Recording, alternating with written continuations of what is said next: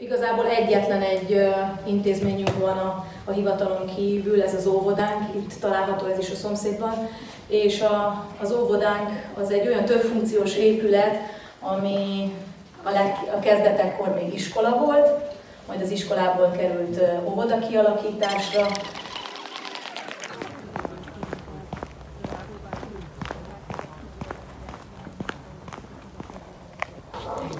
És kérhetnék jobbra. Szükség van, amis uh, itt hogy megújuljanak a települések, élhetőek legyenek, szívesen költözzenek oda a fiatalok, illetve akik ott laknak, azok nem menjenek el onnan. Olvastam.